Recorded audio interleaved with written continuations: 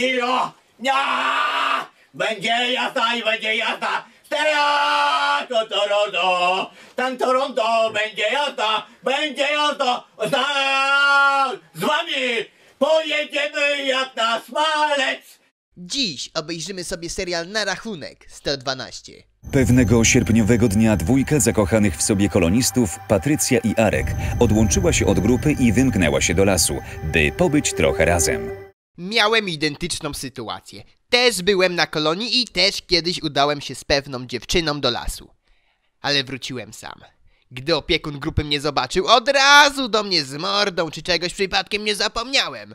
A ja chwilę zastanawiając się, przypomniałem sobie i czym prędzej wróciłem do lasu. Po tą cholerną łopatę, której zapomniałem. A co do dziopy, niech jej ziemia lekką będzie. Niedługo później ich spacer zamienił się w prawdziwą walkę o życie. O, widzę podobieństwa. Moja też walczyła o życie. Arka poznałam po przyjeździe na kolonię. Bardzo się polubiliśmy. Gdybym tylko wiedziała, co wydarzy się w tym lesie, do którego się wybraliśmy. Gdyby tylko dziewczyna, z którą ja byłem w lesie, wiedziała co się stanie, to na pewno przestałaby stawiać opór, gdy chciałem jej okazać miłość. No ale w końcu przestała. Co prawda nie z własnej woli, no ale przestała. Patrz, to chyba jakaś szkółka leśna. Chodź, przejdziemy. Tutaj? Tak się składa, że kiedyś robiłem na szkółce leśnej. E, Co prawda tylko kupę, ale wiem jak wygląda taka szkółka. I uwierzcie mi, to nie jest żadna szkółka. To jest jakaś pierdolona dżungla. A jak i dżungla, to i Wietnamczycy. Ej. Widzisz to? Ha! A nie mówiłem? Teraz tylko czekać aż wpadną w jakąś wietnamską pułapkę. To ogrodzenie powinno nam dać do myślenia. To ogrodzenie powinno być pod prądem, a nie dawać wam do myślenia. Tymczasem my, nieświadomi niczego, szliśmy dalej i z każdym krokiem zbliżaliśmy się do wielkiego zagrożenia. Ja tylko czekam, aż ich następny krok skończy na tym, albo na tym, ewentualnie na tym. Co takiego? Chyba napalm, ale mogę się mylić. Czy ja dobrze widziałem? To wyglądało, jakby ktoś z boku na nią tę ziemię wysypał. Dobra, to da się jeszcze wybaczyć. Ale nawet koloru nie dopasowali, przecież widać, że tam jakiś piasek leży. A ci pewno kupili ziemię do kwiatków w jakimś ogrodniczym, zamiast podnieść trochę ziemi, z ziemi i myg jej na łeb, może by się trochę kamieni trafiło, od razu by było ciekawiej.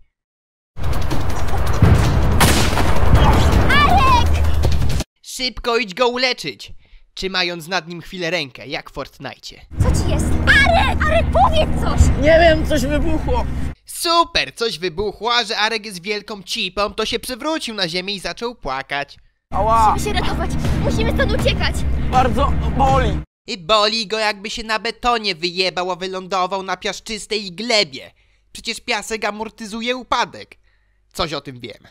Ostatnio wyjebałem się po pijaku w domu. Na szczęście moja głowa wylądowała w piasku. Cieszyłem się, że miękkie lądowanie. Lecz po chwili pomyślałem, skąd ja mam kurwa piasek w domu?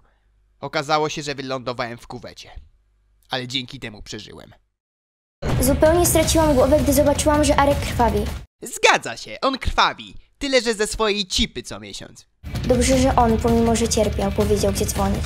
Pewnie kazał ci do mamusi zadzwonić, żeby mu podpaski przyniosła, bo krwawi.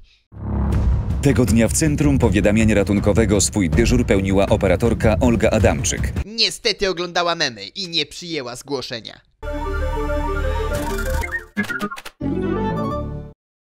Centrum Powiadamiania Ratunkowego, operator numer 21, w czym mogę pomóc? Mój chłopak przewrócił się na ziemię, zaczął krwawić i płakać. Co mam robić? Ale z niego cipa, dziewczyno, rzuć go. Dobrze, tak zrobię.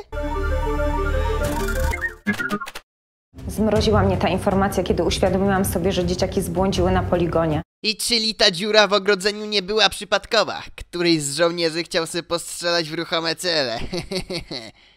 Znałam to miejsce, ponieważ dwa lata temu grzybiarze na wakacjach również zapuścili się w tamte tereny. Pewnie zobaczyli grzyba atomowego i myśleli, że to prawdziwek. Na poligonie trwały manewry. Musiałam skontaktować się z garnizonem. I powiedzieć, żeby go dobili. Powiedz mi, e, gdzie on ma krew? Skąd ona leci? Już mówiłem, z jego cipy co miesiąc. O kurwa, mam fraga, ale zajebiście. Spokojnie, kolega jest medykiem. Downie, to ty jesteś medykiem, ja jestem szturmowcem, a w ogóle to rucham ci matkę. O, a tak wczoraj piszczała. Karetka potrzebna na już. Nie istnieje taka ulica jak już. Myślałem, że po takich ludzi przyjeżdża śmieciarka. Po czterech tygodniach leżenia w łóżku stan Arka poprawił się na tyle, że mógł już przesiąść się na wózek inwalidzki. O, jedzie nasz bohater wojenny, który stracił obie nogi i musi jeździć na wózku. Na razie mam ćwiczenia w odciąganiu. Pamiętam, jak zakrywał mnie własnym ciałem. To było takie rycerskie.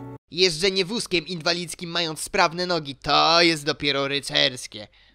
Chociaż rycerz musi mieć konia, to może on ten wózek traktuje jako konia. Tata mówi, że niedługo zabierze mnie na basen.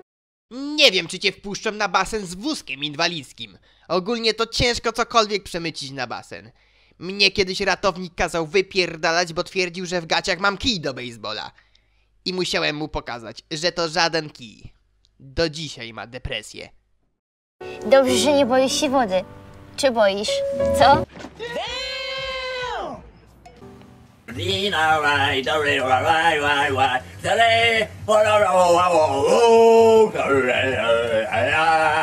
I po prostu pozdrawiam Was wszystkich wspaniałych widzów. Trzymajcie się i piątka.